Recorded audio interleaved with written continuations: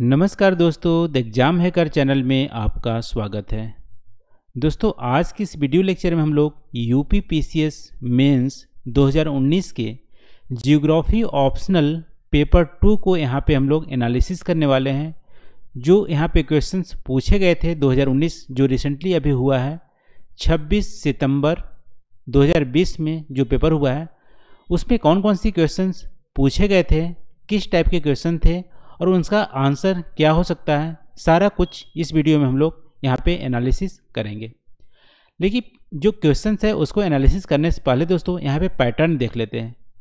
तो जो पेपर है दोस्तों, वो दो सेक्शन में डिवाइड होता है। सेक्शन ए और सेक्शन बी हर एक सेक्शन में चार चार क्वेश्चन होते हैं। यानी टोटल आठ क्वेश्चन दिए होते हैं। और उसमें से पाँच क्वेश्चन हमें अटैम्प्ट करने होते हैं। और पाँच क्वेश्चन 200 मार्क का होता है। और तीन घंटे हमें टाइम दिए होते हैं, उसी में हमें अटैम्प्ट करने होते हैं। और यहाँ पे एटलीस्ट दो क्वेश्चन है, एक सेक्शन से एटलीस्ट हमको अटैम्प्ट करने ही है। यानी सेक्शन ए से दो क्वेश्चन ज़रूर अटैम्प्ट करने हैं सेक्शन बी से भी दो क्वेश्चन हमें अटैम्प्ट करने हैं। और टोटल यहाँ पे पाँच क्वेश्चन अटैम्प्ट करने हैं। और हर एक क्वेश्चन जो है दोस्तों, यहाँ पे चालीस नंबर का होता है। ठीक है तो टोटल 200 नंबर का क्वेश्चन होता है, तीन घंटे में हमें अटैम्प्ट करने होते हैं। ये रहा दोस्तों यहाँ पे पैटर्न अब हम लोग क्वेश्चन देख लेते हैं, जो 2019 में पूछा गया था पेपर टू में जियोग्राफी ऑप्शन पेपर टू में। तो यहाँ पे पहला, जो सेक्शन ए का, जो पहला क्वेश्चन है, उसमें तीन सब क्वेश्चन आप देख सकते हैं ए बी सी तो ए में यहाँ पे पूछा दोस्तों explain the difference between north Indian and south Indian river system उत्तर भारत और दक्षिण भारत के नदी तंत्र के बीच में, बीच के अंतर को स्पष्ट कीजिए। दोस्तों, यहाँ पे जस्ट आपको रिनेम कर दिया है कि हिमालयन जो रिवर सिस्टम है पेनिनसुलर जो रिवर सिस्टम है, उसके बीच का डिफरेंस आपको यहाँ पे बताना है। ठीक है? तो नॉर्थ जो नॉर्थ इंडियन रिवर सिस्टम है, हिमालयन रिवर सिस्टम दोनों सेम है साउथ इंडियन रिवर सिस्टम है और जो पेनिनसुलर रिवर सिस्टम है, दोनों ही सेम है। तो दोनों का बीच में यहाँ पे डिफरेंस आपको बताना है। तो डिफरेंस दोस्तों, आप बहुत सारे डिफरेंस इसमें बता सकते हैं। एक तो ओरिजिन या रिवर सोर्स के हिसाब से कि नॉर्थ इंडियन जो रिवर सिस्टम है, वो हिमालयन से ओरिजिन होते हैं। सदर्न इंडियन जो रिवर हैं, वो हमारा वेस्टर्न घाट से ओरिजिन होता है। इसके अलावा एज की बात करें तो नॉर्थ इंडियन जो रिवर हैं, उनकी एज कम है, यंग एज है, जबकि सदर्न इंडियन के जो रिवर हैं, वो हमारा ओल्डर एज की हैं। वैलीज की बात करें तो वैलीज नॉर्थ इंडियन जो रिवर हैं, वो डीप गॉर्ज वैली क्रिएट करते हैं, जबकि साउथ इंडियन जो रिवर है, वो हमारा ब्रॉड और सैलो वैली क्रिएट करते हैं। यदि वाटर की बात करें तो नॉर्थ इंडियन जो रिवर हैं, वो पेरेनियल इन नेचर हैं। बारहों महीने वहाँ पे वाटर फ्लो होती रहती है। सदर्न इंडियन की जो वाटर की बात करें सीजनल इन नेचर है। ठीक है? इसके अलावा आप बात करें बेसिन की तो नॉर्थ इंडियन जो रिवर सिस्टम है, उनका बेसिन बहुत ही ब्रॉड होता है बिग होता है। सदर्न इंडियन की जो रिवर है, उसकी बेसिन आप देख सकते हो, कम होता है as compared to northern Indian की रिवर सिस्टम इसके अलावा डेल्टा की बात करें नदर्न इंडियन जो रिवर है, वो बिग डेल्टा क्रिएट करते हैं और सदर्न इंडियन की जो रिवर हैं, वो हमारे स्मॉलर डेल्टा क्रिएट करते हैं या डेल्टा नहीं क्रिएट करते हैं. ये आप एग्ज़ाम्पल दे के इसको अच्छे से आप डिफरेंस इसको बता सकते हैं. ये हमने यूट्यूब चैनल पे इसको अच्छे से हम लोग डिटेल डिटेल में स्टडी किया हुआ है. तो पहला का आप बी यहाँ पे देख लेते दोस्तों बी यहाँ पे पूछा है दोस्तों critically describe the origin and mechanism of Indian monsoon इसको भी हम लोग डिस्कस कर चुके हैं, लेकिन यहाँ पे देख लेते हैं, भारतीय मानसून की उत्पत्ति एवं प्रक्रिया का आलोचनात्मक वर्णन कीजिए। दोस्तों ओरिजिन एंड मैकेनिज्म से रिलेटेड बहुत सारे थीरीज हैं, लेकिन यहाँ पे आपसे स्पेसिफिक थीरीज के बारे में नहीं पूछा है। यहाँ पे जनरल पूछा है कि ओरिजिन एंड मैकेनिज्म के इंडियन मानसून की ओरिजिन एंड मैकेनिज्म के बारे में बताएँ और आलोचनात्मक वर्णन कीजिए। इसका मतलब आपको यहाँ पर रिसेंट जो थीरी है, उसको आपको मेंशन करना है। तो रिसेंट थीरी में हम लोग देखे थे कि जो जेट स्ट्रीम का भी रोल है आईटी सीजेट का भी रोल है हिमालयन के भी रोल है, ठीक है? तो ये सारे रोल है। इसके अलावा हाँ हिमालयन की रोल है। इसके अलावा देखोगे इंडियन ओशियन डाइपोल का रोल है इल इन लिनो का भी रोल है तो सारा रोल यहाँ पे आपको मेंशन करना है। रिसेंट जो थीरी है उसके बेसिस पे और आपको एक्सप्लेन करना है कि ओरिजिन और मैकेनिज्म कैसी होती है इसका और इसका आलोचनात्मक, इसका मतलब आपको फिर से एक्सप्लेन करना है कि इतना कुछ यहाँ पे रोल होने के बावजूद भी, इतना कुछ थ्योरी होने के बावजूद भी अभी तक कंप्लीट हमारा इंडियन मानसून की जो नेचर है ओरिजिन है मैकेनिज्म है, उसको एक्सप्लेन नहीं किया जा सक, नहीं किया आ, कर पाए हैं। ठीक है तो उसको आलोचनात्मक यहाँ पे वर्णन आप कर सकते हैं इसको अच्छे से। इसको भी दोस्तों हम लोग यूट्यूब चैनल पे हम लोग इसको अच्छे से डिटेल में स्टडी किए हुए हैं। दोस्तों पहला का यहाँ पे सी जो क्वेश्चन है उसमें पूछा है discuss the different type of natural vegetation of India and their spatial distribution यहाँ पे नेचुरल वेजिटेशन की बात कर रहा है। यहाँ पे एग्रीकल्चर क्रॉप की बात नहीं कर रहा है। नेचुरल वेजिटेशन ऐसे वेजिटेशन होता है जो नेचुरली ग्रो होते हैं विदाउट ह्यूमन की हेल्प से। तो नेचुरल वेजिटेशन में तीन टाइप की वेजिटेशन आते हैं। एक आपको देखने में श्रब ठीक है, फिर ग्रासलैंड फिर फॉरेस्ट लेकिन इंडिया में यहाँ पे दोस्तों श्रब और ग्रासलैंड बहुत ज़्यादा एक्सटेंसिव रूप में नहीं मिलते हैं। इसीलिए जनरली नेचुरल वेजिटेशन में हम लोग फॉरेस्ट को यहाँ पे स्टडी करते हैं। तो यहाँ पे डिफरेंट टाइप की जो फॉरेस्ट हैं, उसको यहाँ पे मेंशन करना है। जैसे tropical tropical rain forest tropical deciduous forest यहाँ पे थॉर्नी फॉरेस्ट ठीक है? फिर ट्रॉपिकल डिजर्ट टाइप वाली फॉरेस्ट है, या फिर माउंटेन या माउंटेनियस फॉरेस्ट मैंग्रोव फॉरेस्ट सारे कुछ यहाँ पे आपको मेंशन करना है। फिर स्पेशल डिस्ट्रीब्यूशन भी बताना है। यानी कि हर जगह जो नेचुरल वेजिटेशन है, एक समान नहीं मिलते हैं। इसका स्पेशल वेरिएशन होता है और ये डिपेंडेंट होती हैं हमारा जनरली रेनफॉल पे। ठीक है तो ये सब कुछ यहाँ पे आपको यहाँ पे मेंशन करना है। तो अगला यहाँ पे दोस्तों, दूसरा क्वेश्चन है सेक्शन ए का ही। देख लें, दूसरा में ए पूछा गया what do you mean by wildlife what effort have been made by the government of India to preserve the wildlife? वन्य जीव से आप क्या समझते हैं? भारत सरकार के द्वारा वन्य जीव को संरक्षित करने के लिए क्या प्रयास किए गए हैं? दोस्तों, यहाँ पे वन्य जीव देखो जनरली यहाँ पे एक दो मीनिंग होता है वन्य जीव का।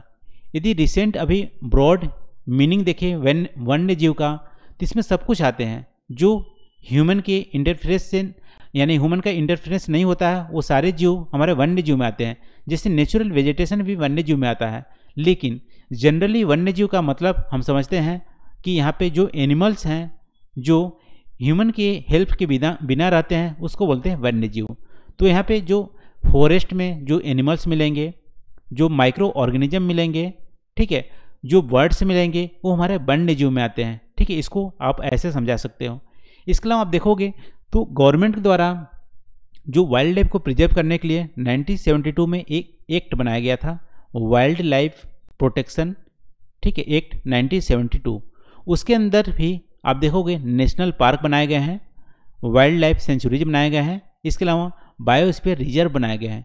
इसके अलावा एक शेड्यूलिंग भी बनाई गई है। उसमें बहुत सारे जो स्पेसिस हैं, उसको प्रियोरिटी के हिसाब से वहाँ पर बोला गया है कि कौन सी स्पेसिस को आप मार सकते हैं, कौन सा आप किलिंग नहीं कर सकते हैं। तो सारे कुछ यहाँ पे गवर्नमेंट ने इफर्ट लिया है, इसको आप यहाँ पे मेंशन कर सकते हैं। दोस्तों, दूसरा का बी यहाँ पे है। What are the objective behind creating biosphere reserve in India to what extend this objective has been achieved दोस्तों बायोस्फीयर रिज़र्व करने के लिए जो ऑब्जेक्टिव हैं, वो सिर्फ़ वाइल्ड लाइफ को यहाँ पे कंजर्व करने के लिए नहीं है। वाइल्ड लाइफ या एनिमल यहाँ पे तो हैं ही। इसके अलावा आप देखोगे, यहाँ पे नेचुरल वेजिटेशन फॉरेस्ट को भी कंजर्व करने के लिए बनाए गए हैं। इसके अलावा यहाँ पे आप देखोगे, जो ट्राइबल लोग की जो कल्चर है, उसको भी कंजर्व करने के लिए यहाँ पे बनाए गए हैं। इसके अलावा रिसर्च के लिए या बहुत सारे जो स्पेसीज को एक्सटेंशन हो रहे हैं, उसको रोकने के लिए यहाँ पे बायोस्फीयर रिज़र्व की ऑब्जेक्टिव यहाँ पे बनाया गया था। तो आप देखोगे इंडिया में आई थिंक 18 बायोस्फीयर रिज़र्व हैं। उसको यहाँ पे आप थोड़ा बहुत मेंशन कर सकते हैं आप चाहें तो। और यहाँ पे ऑब्जेक्टिव क्या अचीव हो पाया कि नहीं? दोस्तों आप ऑब्जेक्टिव यहाँ पे दो तरह से बोल सकते हैं कि अचीव हो भी पाया है नहीं भी हो पाया। है ऑब्जेक्टिव कैसे अचीव हो पाया है उसको आप बता सकते हैं। जैसे टाइगर की जो संख्या है उसमें वृद्धि हुई है। एलिफेंट आप कंजर्व करने में कुछ हद तक यहाँ पे आ, आप अच्छे मतलब बोल सकते सक्सेस मिला हुआ है। फिर ट्राइबल की जो कल्चर है, वो भी यहाँ पे सक्सेस मिला हुआ है। लेकिन यहाँ पे बहुत सारा जो डिफॉरेस्टेशन हो रहे हैं, बहुत सारे जो एनिमल्स या वाइल्ड लाइफ का एक्सटेंशन हो रहा है, उसमें हम सक्सेस नहीं हुए हैं। तो आप दोनों ही पहलुओं को यहाँ पे आप मेंशन कर सकते हैं टू के बी में। दोस्तों टू के सी में पूछा है कि what are the causes of flood which zone of India is mostly affected by flood how it can be minimise दोस्तों रिसेंटली अभी एक हफ़्ते भी नहीं हुए हैं, शायद इसको हम लोग अच्छे से डिटेल में स्टडी किए हुए हैं कि फ्लड का जो कॉजेज़ है रीज़न क्या है। हमारा बहुत ही थोड़े समय में बहुत ज़्यादा रेनफॉल होता है और लो लाइंग एरिया में फ्लड हो जाता है। ठीक है, इसके लिए आप बोल सकते हैं ह्यूमन काउज भी हैं, क्योंकि ह्यूमन के ह्यूमन द्वारा भी यहाँ पे इरोजन होता है। इरोजन यानी कि अब डिफोरेस्टेशन होता है, उसकी वजह से इरोजनल बढ़ जाते हैं। ठीक है, आप काफ़ी कुछ इसको लिख सकते हैं, हम लोग बहुत ही डिटेल में इसको यूट्यूब में डिस्कस किए हुए हैं। बहुत ही ईजी क्वेश्चन है। ठीक है फिर ये हो गया दोस्तों दूसरा क्वेश्चन अब यहाँ पे हम लोग चलते हैं तीसरा क्वेश्चन सेक्शन ए में ही। यहाँ पे पूछा है कि give an account of India population growth trend since 1901 AD 1901 ईस्वी से भारत की जनसंख्या वृद्धि की, प्रवृत्तियों के विवरण कीजिए। दोस्तों यहाँ पे पॉपुलेशन ग्रोथ ट्रेंड की बात कर रहा है तो आप इसको कैटेगराइज कर सकते हैं। एक 1901 से 1921 के बीच में। इसमें पॉपुलेशन देखोगे तो स्टेगनेंट है। यहाँ पे ना बढ़ी है, ना ही घटी है। इसको आप बोल सकते हो first stage of demography transition theory का जो फ़र्स्ट स्टेज है 1901 से 1921 के बीच में। इवन 1921 की जो पॉपुलेशन सेंसस हुई थी, उसमें पॉपुलेशन अब डिक्रीमेंट देखने मिले है। 0.31 परसेंट का डिक्रीमेंट देखने को मिले थे पॉपुलेशन में। तो हमारा पीरियड है 1901 से 1921 के बीच में स्टेगनेंट पीरियड फिर आप 1921 से 1900 आप हाँ 1921 से आप, उन्नीस सौ इक्यावन के बीच में आप इसको कैटेगराइज कर सकते हो। इसमें आप बता सकते हो कि यहाँ पे स्टेडी ग्रोथ हुआ है, यानी बहुत ही रैपिड हाई ग्रोथ नहीं हुआ है, लेकिन स्टेडी ग्रोथ हुआ है 1921 से उन्नीस सौ इक्यावन के बीच में।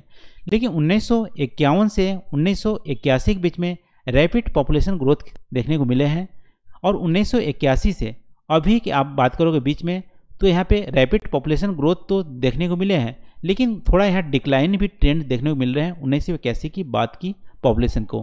तो यहाँ पे कुछ ऐसा आप विवरण दे सकते हैं इस क्वेश्चन में।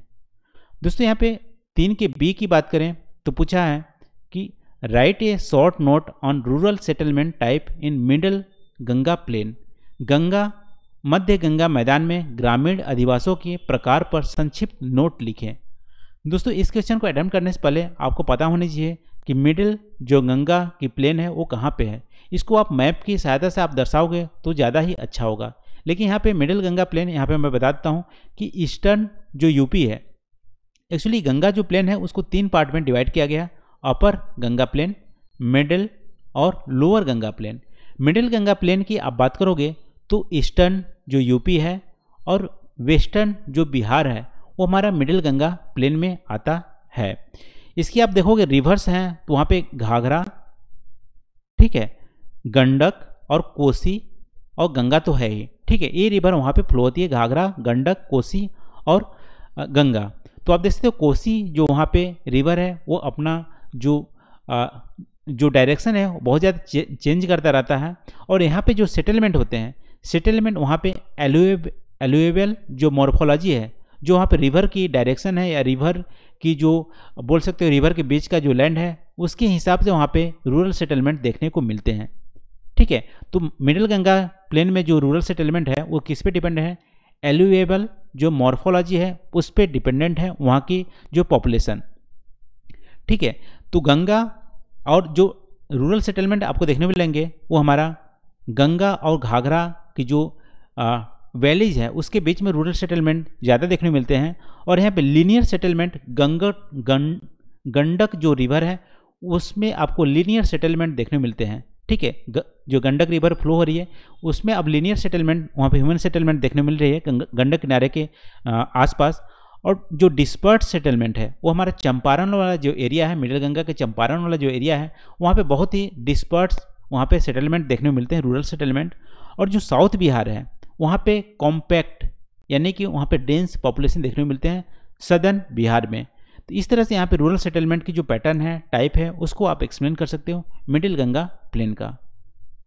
अब चलते हैं दोस्तों, तीसरा का जो सी क्वेश्चन है। यहाँ पे पूछा है write and critical note on the criteria for defining town as adopted by census of India भारतीय जनगणना विभाग के द्वारा नगर को परिभाषित करने के लिए अपनाए गए मानदंडों पर आलोचन, आलोचनात्मक टिप्पणी कीजिए। दोस्तों सेंसस ऑफ़ इंडिया की बात करें तो यहाँ पे जो टाउन की डिमार्केशन है या डिफाइनिंग है, वो दो तरह से टाउन को मेजरटी यहाँ मेजर तरह से डिफाइन किया गया। है एक है स्टेटोटरी टाउन जो स्टेट गवर्नमेंट द्वारा नोटिफाई की गई है, जहाँ पे कॉरपोरेशन चल रहे हैं, ठीक है? और जहाँ पे, वहाँ पे म्यूनिसिपल म्यूनिसिपल जो कॉरपोरेशन है, वो चल रही हैं, और नोटिफाइड एरिया है, वो हमारे स्टेटरी टाउन में आ गया।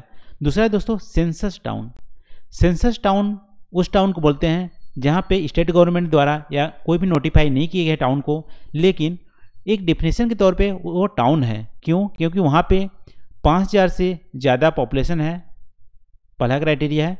दूसरा सेवेंटी फाइव परसेंट जो मेल पॉपुलेशन है। ठीक है, यहाँ पे ध्यान रखिए मेल पॉपुलेशन 75 परसेंट जो मेल पॉपुलेशन है, वो नॉन एग्रीकल्चर एक्टिविटी में हो रही हैं। और जो डेंसिटी है, वो आप देखते हो 4000 पर्सन पर स्क्वायर किलोमीटर यदि डेंसिटी है। ये सारे क्राइटेरिया यदि फुलफिल हो रहे हैं तो हमारा वो टाउन में कहलाएगा as per census of India लेकिन यहाँ पे दोस्तों आपको आलोचनात्मक यहाँ पे पूछा है, यहाँ पे आपको जो इनकी जो क्राइटेरिया है, उसको यहाँ पे क्रिटिसाइज भी करना है। देखो क्रिटिसाइज आप कर सकते हो कि पाँच हज़ार जो पॉपुलेशन है, यहाँ पे एरिया को यहाँ पे डिफाइन नहीं किया है, कितने एरिया में पाँच हज़ार पॉपुलेशन होनी चाहिए। ठीक है, यदि बहुत बड़ी विलेज है, या बहुत छोटी विलेज है, उसमें पाँच हज़ार पीपल लोग रह रहे हैं, या पाँच हज़ार नहीं रह रहे हैं, बहुत छोटी विलेज है। वहाँ पे यदि पाँच हज़ार से ज़्यादा, पाँच हज़ार से कम यदि वहाँ पे सेटलमेंट है तो आप बोल सकते हो वो टाउन नहीं है as as per census of India लेकिन देखो, बहुत कम एरिया में यदि चार हज़ार लोग रह रहे हैं तो डेंसिटी बहुत हो जा हो जा रही है। तो टाउन हो सकते हैं तो इसको आप क्रिटिसाइज कर सकते हो, पाँच हज़ार वाला जो क्राइटेरिया है। इसके अलावा यहाँ पे seventy five percent male population ठीक है? यहाँ पे ह्यूमन को यहाँ पे जोड़ा नहीं गया है तो यहाँ पे आप बोल सकते हो, यहाँ पे डिस्क्रिमिनेशन हो रहा है एक तरह से, कि यहाँ पे मेल जो पॉपुलेशन है सेवेंटी फाइव परसेंट वो नॉन एग्रीकल्चर फ़ील्ड में इन्वॉल्व होनी चाहिए तो इसको आप आप क्रिटिसाइज कर सकते हो। इसके अलावा पे डेंसिटी वाले पे क्रिटिसाइज कर सकते हो कि चार फोर हंड्रेड जो डेंसिटी का क्राइटेरिया है, उसको भी आप क्रिटिसाइज कर सकते हो, ठीक है? तो इस तरह से यहाँ पे आलोचनात्मक टिप्पणी आप कर सकते हो, जो सेंसस ऑफ़ इंडिया की जो डिफिनेशन है, उसके लिए। ये रहा दोस्तों, तीसरा क्वेश्चन अब सेक्शन ए का ही चौथा क्वेश्चन यहाँ पे चलते हैं। तो चौथा क्वेश्चन में दोस्तों पूछा है कि critically examine the concept of smart village आपने स्मार्ट टाउन के बारे में सुना होगा, लेकिन स्मार्ट विलेज का भी यहाँ पे कॉन्सेप्ट आया था दोस्तों 2015 में। ठीक है 2015 में स्मार्ट विलेज का कॉन्सेप्ट आया था और फ़र्स्ट फ़ेज़ में 300 स्मार्ट विलेज को भी यहाँ पे बनाने का डेवलप करने का एक क्राइटेरिया गवर्नमेंट ने उठाया था और जो बेसिक जो क्राइटेरिया थे स्मार्ट विलेज बनाने का वहाँ पे एजुकेशन को फैसिलिटी प्रोवाइड करने के लिए, हेल्थ केयर फैसिलिटी प्रोवाइड करने के लिए इन्वायरमेंटल केयर के लिए और वहाँ पे एम्प्लॉयमेंट जनरेट करने के लिए। ये सारे फैसिलिटीज़ वहाँ प्रोवाइड करेंगे तो हमारा वहाँ क्या जाएगा? स्मार्ट विलेज हो जाएगा। लेकिन यहाँ पे दोस्तों क्रिटिकली एग्जामिन करने को बोला है, क्या स्मार्ट विलेज की जो कॉन्सेप्ट लाया गया था, क्या वो सक्सेसफुल हुआ है? दोस्तों आप बोल सकते हो बहुत हद तक यहाँ पर सक्सेस नहीं मिला हुआ है, क्योंकि इसके बहुत सारे फंडामेंटल्स आप यहाँ पे जो गड़बड़ियाँ हैं, वो भी आप बोल सकते हो। जैसे यहाँ पे एजुकेशन की बात की गई है। लेकिन एजुकेशन आप स्मार्ट एजुकेशन कैसे करोगे जब वहाँ पे स्मार्ट या डिजिटल एजुकेशन नहीं होगी? और डिजिटल एजुकेशन के लिए आपको आईटी इंफ्रास्ट्रक्चर होनी चाहिए, यानी कि वहाँ पे इंटरनेट की कनेक्टिविटी होनी चाहिए। फाइबर ऑप्टिक्स केबल हर गाँव में यहाँ पे होनी चाहिए। यदि यही बेसिक चीज़ की कमी है तो आप स्मार्ट एजुकेशन कैसे करोगे? हेल्थ केयर की फैसिलिटीज़ में भी दोस्तों वही है डॉक्टर की कमी है। इसके अलावा कोई भी डॉक्टर वहाँ पर रहना नहीं चाहता। क्यों? क्योंकि वहाँ पे इंफ्रास्ट्रक्चर बेसिक जो इंफ्रास्ट्रक्चर की कमी है तो वहाँ पे हेल्थ केयर की फैसिलिटीज़ कैसे प्रोवाइड करोगे? तो कुछ यहाँ पे बेसिक फंडामेंटल जो गड़बड़ियाँ हैं, उसको यहाँ पे आप एग्जामिन कर सकते हो, ठीक है, इस क्वेश्चन में। दोस्तों, अगला चौथा का बी हम लोग देखते हैं। Throw light on the role of India in establishing cooperation and peace in South Asian region दक्षिण एशियाई प्रदेश में सहयोग एवं शांति स्थापित करने में भारत की भूमिका पर प्रकाश डालिए।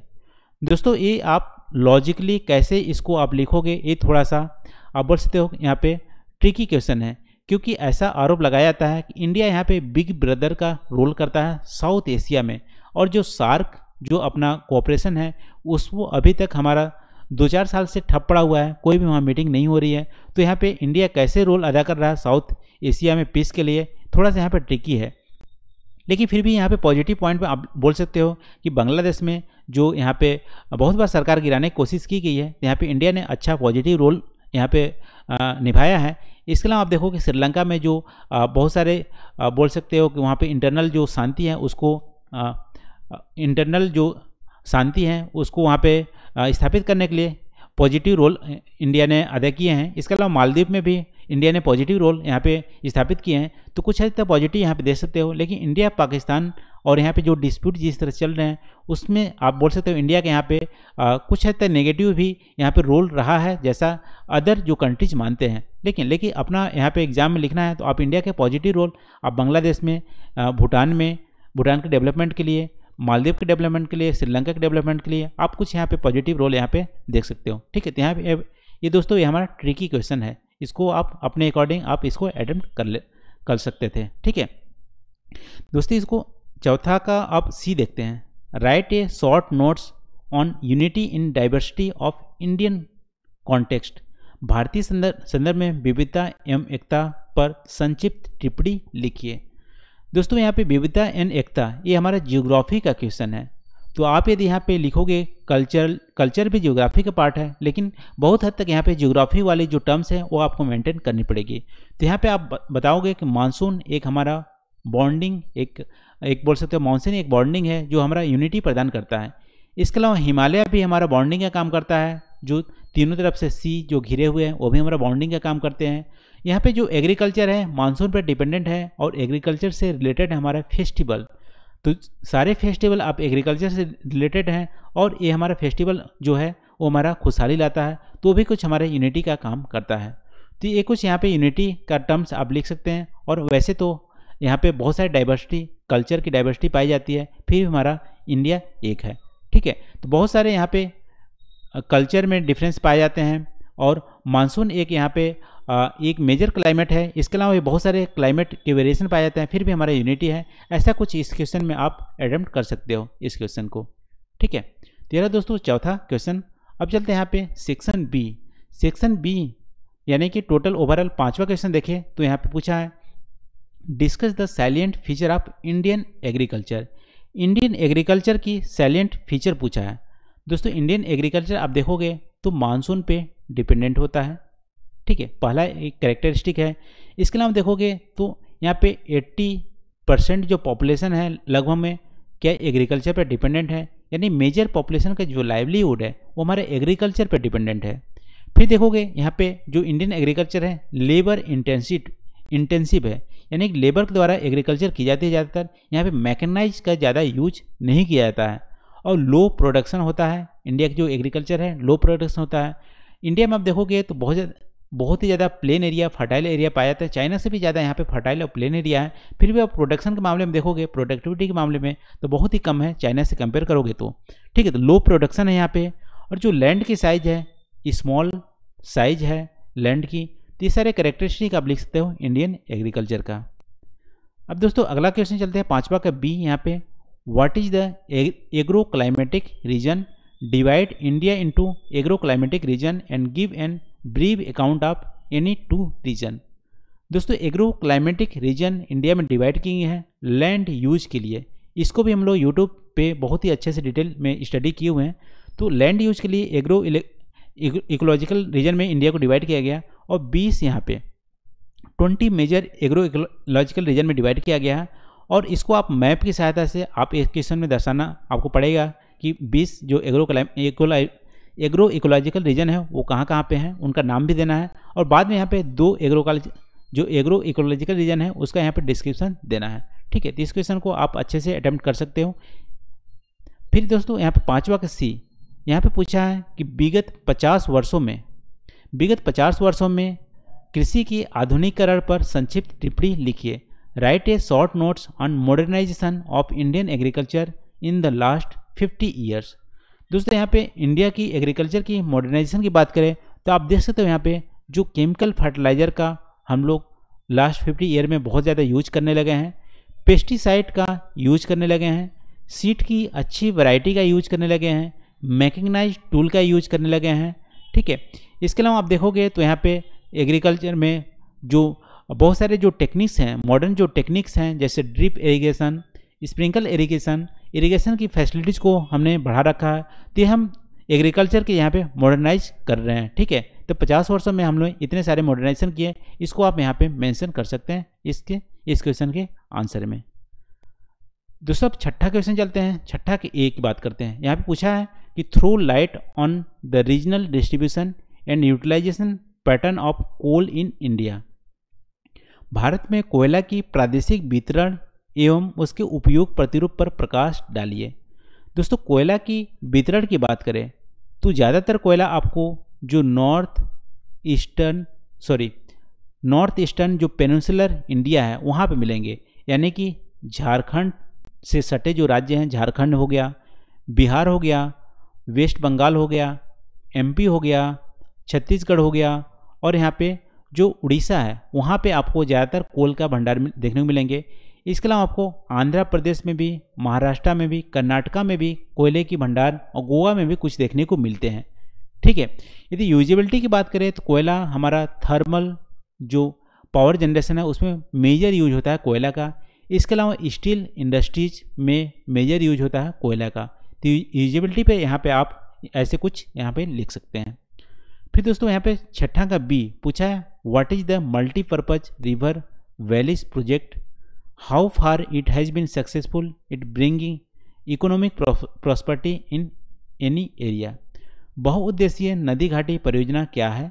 किसी क्षेत्र में आर्थिक समृद्धि लाने में इस, यह किस सीमा तक सफल रही है? दोस्तों बहुउद्देशीय नदी घाटी परियोजना की बात करें तो यहाँ पर डैम की बात कर रहा है। देखो, डैम मल्टीपर्पज़ डैम होते हैं, एग्रीकल्चर के लिए बनाए जाते हैं और यहाँ पे इलेक्ट्रिसिटी जनरेशन के लिए बनाए जाते हैं और इरोजन एक्टिविटी को कम करने के लिए बनाए जाते हैं, फ्लड को रोकने के लिए बनाए जाते हैं ग्राउंड वाटर को रिचार्ज करने के लिए बनाए जाते हैं। तो काफ़ी कुछ यहाँ पे मेजर पर्पज होता है फिशिंग के लिए बनाए जाते हैं। इसके अलावा आप देख सकते हो यहाँ पे जो इनलैंड वाटरवेज होती हैं, उसके लिए बनाया जाता है। तो मल्टीपर्पज़ ये होती है, यही हमारा मल्टीपर्पज़ नदी घाटी परियोजना है। यदि आप देखोगे कि किसी क्षेत्र में आर्थिक समृद्धि लाने के लिए किस सीमा तक सफल रही है तो आप झारखंड में देख लो, यहाँ पर दामोदर नदी घाटी परियोजना बनाई गई है। उसके तहत आप देखोगे तो यहाँ पे जो इलेक्ट्रिसिटी की जनरेशन अच्छी खासी हो गई है और दामोदर जो रिवर है, कभी बंगाल का सूख कहा जाता था तो यहाँ पे फ्लड को रोकने में बहुत ही हद तक यहाँ पे अच्छी साबित हुई है। इसके अलावा आप देख सकते हो महानदी में जो परियोजना है, वहाँ पे पहले उड़ीसा में बहुत ज़्यादा फ्लड आते थे, उसको भी रोकने में काफ़ी हद तक सफल रही है। तो बोल सकते हो कि जहाँ पे रीजन में जिस जिस रीजन में बहुत देशी नदी घाटी परियोजना बनाई गई है। वहाँ पे आर्थिक समृद्धि लाने में बहुत हद तक सफल रही है, लेकिन कुछ आप लिमिटेशन को भी यहाँ पे मेंशन आप कर सकते हैं। ये रहा दोस्तों छठा के बी। अब छठा का सी में आपसे पूछा है write a short notes on energy crisis and alternative energy sources in India दोस्तों एनर्जी क्राइसिस पे पेपर वन में भी पूछा था एनर्जी क्राइसिस कब होती है? जब हमारा एनर्जी की डिमांड बहुत ज़्यादा हो जाती है सप्लाई हमारा कम हो जाती है। दोस्तों एनर्जी क्राइसिस की बात करें इंडिया में तो हमेशा यहाँ पे डर लगा रहता है एनर्जी क्राइसिस का। क्यों? क्योंकि 90 परसेंट जो क्रूड ऑयल की जो हम इंपोर्ट करते हैं पेट्रोलियम की इंपोर्ट करते हैं, हम 90 परसेंट जो अपना कंजप्शन है, हम 90 परसेंट इम्पोर्ट करते हैं अलग देशों से। और जो वेस्ट एशिया से हम इम्पोर्ट करते हैं, वो हमेशा वहाँ पे इनस्टेबिलिटी बनी रहती है पॉलिटिकल इंस्टेबिलिटी बनी रहती है। इसके चलते हमारे एनर्जी क्राइसिस यहाँ पे अक्सर यहाँ पे डर बना रहता है। इसके लिए अल्टरनेटिव एनर्जी आप देख सकते हो कि अल्टरनेटिव एनर्जी के लिए हम यहाँ पे सोलर पावर विंड्स जनरेशन और यहाँ पे अलग अलग जो रिन्यूएबल रिसोर्सेज हैं, उसको यहाँ पे हम ला रहे हैं। लेकिन फिर भी आप देख सकते हो सोलर एनर्जी के तौर पे हम बैटरी जो है लिथियम आयन बैटरी की जो टूल्स हैं, जो भी उसमें इक्विपमेंट्स बनाए, उसमें जो लगते हैं रॉ मटेरियल लगते हैं, वो चाइना से इम्पोर्ट करते हैं। तब पर भी हमारे एनर्जी जो सिक्योरिटी है, यहाँ पे क्राइसिस हो सकते हैं। तो कुछ यहाँ पे अल्टरनेटिव में आप यहाँ पे लिख सकते हो, ठीक है? तो एनर्जी क्राइसिस के बारे में आप लिख सकते हो। यहाँ पे हिस्ट्री ऑफ़ एनर्जी क्राइसिस यदि आपको पता होगा कि इंडिया में एनर्जी क्राइसिस कब कब हुई हैं, उसको भी आप यहाँ पे मेंशन कर सकते हैं। अब रहते तो सातवां क्वेश्चन सातवां में आपसे पूछा है ए में। सात की ए में पूछा है explain the distribution pattern of iron and steel industry in eastern India with reference to its locational factor.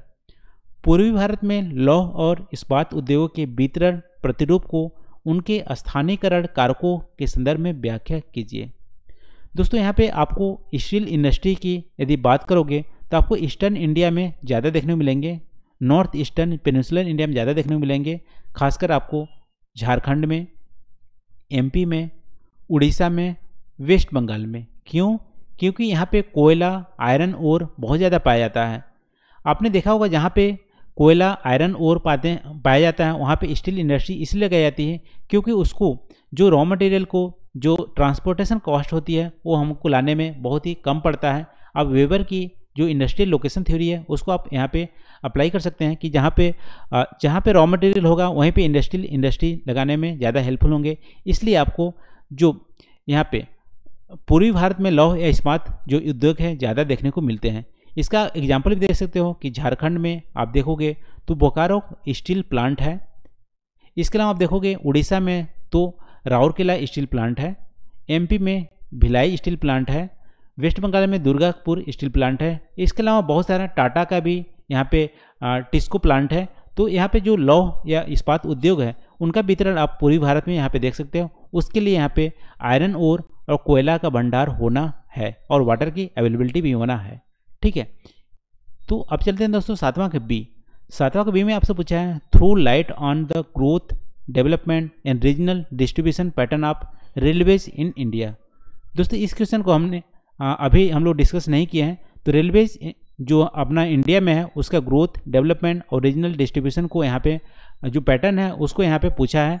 इसको हम लोग डिटेल में अलग से वीडियो में इसको हम लोग डिस्कस करेंगे, ठीक है? तो सातवां के यहाँ पे सी पूछा है write a short note on golden quadrilateral scheme in India Bharat में स्वर्णिम चतुर्भुज योजना पर एक संक्षिप्त टिप्पणी लिखिए। दोस्तों, यहाँ पे हाईवेज जो कनेक्ट हो रहे हैं जो किए गए हैं, आपको मेजर जो सिटीज़ हैं, जैसे मुंबई हो गया, दिल्ली हो गया, कोलकाता हो गया और चेन्नई हो गया, इसको जो हाईवे में कनेक्ट किए हैं, उसको बोलते हैं स्वर्णिम चतुर्भुज योजना। इस पर आप यहाँ पे डिटेल में टिप्पणी लिख सकते हैं। आई होप इसको आपने पढ़ा होगा। अब आठवां चलते हैं दोस्तों यहाँ पे। पूछा है, prepare the outline for planning of metropolitan city. Metro महानगर की योजना पर एक रूपरेखा तैयार कीजिए। दोस्तों, महानगर योजना जो मेट्रो, मेट्रोपॉलिटन जो सिटी है, उसकी प्लानिंग के लिए आप यहाँ पे इंफ्रास्ट्रक्चर डेवलपमेंट कैसे करोगे? फ्लड को कंट्रोल करने के लिए कैसे वहाँ पे ड्रेनेज सिस्टम को आप लगाओगे? ठीक है, इसको आप यहाँ पे मेंशन कर सकते हो। तो इसको आप मेट्रोपॉलिटन जो सिटी है, उसकी प्लानिंग को हम लोग एक विस्तार रूप में हम लोग अलग से इसको वीडियो में हम लोग डिस्कस करने वाले हैं। दोस्तों, आठवां के बी यहाँ पूछा है highlights the prospect and problem associated with water transport in north India देखो नॉर्थ इंडिया में वाटर का जो ट्रांसपोर्ट है, उसके बीच में यहाँ पे आपसे पूछा है कि उत्तर भारत में जल परिवहन पे जुड़ी समस्याओं या संभावना या समस्याओं को चिन्हांकित कीजिए। तो यहाँ पे दोस्तों आप बोल सकते हो कि नॉर्थ इंडियन जो रिवर हैं, उसमें बहुत ज़्यादा इरोजनल या सिल्ट की मात्रा पाई जाती है, जो वाटर की ट्रांसपोर्ट में हेल्पफुल नहीं होती है। ठीक है, यहाँ पे पेरिनियल इन नेचर वाटर की पाई जाती है, लेकिन आप देखो वाटर की डेप्थ भी कमी हो रही है, क्योंकि बहुत सारे डैम बनाए गए हैं। तो इसको कुछ आप ऐसे अटैम्प्ट इसको कर सकते हैं। ठीक है तो आठवां के यहाँ पे सी यानी लास्ट क्वेश्चन पूछा है दोस्तों write and short notes on planning of sustainable development सतत विकास के लिए नियोजित एक संक्षिप्त टिप्पणी लिखिए। दोस्तों, ये तो आपने बहुत बार पढ़ा होगा सस्टेनेबल डेवलपमेंट क्या होती है? ऐसा डेवलपमेंट जो अभी का डेवलपमेंट तो हो, लेकिन फ्यूचर की जो जनरेशन है, उसके लिए कोई भी रिसोर्सेज को डिप्लेशन ना हो। यानी कि फ्यूचर जनरेशन के लिए रिसोर्स को बचा के अभी करंट की डेवलपमेंट करे और साथ साथ अभी की जो जो इकोनॉमिक है, उसको यहाँ पे पॉल्यूशन या इकोनॉमिक जो डिप्लीसन है, उसको न करें। ठीक है ऐसा कुछ डेवलपमेंट करते हैं। उसमें हम देखते हैं कि जो पीपल यानी सोसाइटी का भी ध्यान रखते हैं और यहाँ पे डेवलपमेंट का भी ध्यान रखते हैं इकोनॉमिक का भी ध्यान रखते हैं और साथ साथ इको का भी ध्यान रखते हैं। तो इकोनॉमिक इकोसिस्टम पीपल दोनों का ध्यान रखते हुए यहाँ पे सस्टेनेबल डेवलपमेंट करते हैं। ऐसा कुछ यहाँ पे संक्षिप्त टिप्पणी आप यहाँ पे लिख सकते हैं। तो ये रहा दोस्तों यहाँ पे U P U P P C S दो हज़ार उन्नीस में जो जियोग्राफी पेपर टू का जो क्वेश्चन पूछे गए थे, उसका एनालिसिस। तो इस वीडियो में हम लोग कंप्लीट एनालिसिस देखें कि क्या क्वेश्चन पूछे गए थे और साथ साथ किस तरह से यहाँ पे आंसर इसको देने थे। सब कुछ यहाँ पे एनालिसिस हम लोग किए। तो आई होप दोस्तों वीडियो आपको अच्छा लगा होगा। यदि वीडियो अच्छा लगा होगा तो प्लीज़ आप कमेंट करके हमें ज़रूर बताइए, वीडियो कैसा लगा। कुछ सजेस्ट या नहीं करना चाहते हैं, वो भी हमें सजेशन भी दे सकते हैं इस कमेंट के माध्यम से। तो आज के लिए बस इतना ही दोस्तों। थैंक यू फॉर वॉचिंग मिलते हैं अगले वीडियो में नए टॉपिक के साथ। Thank you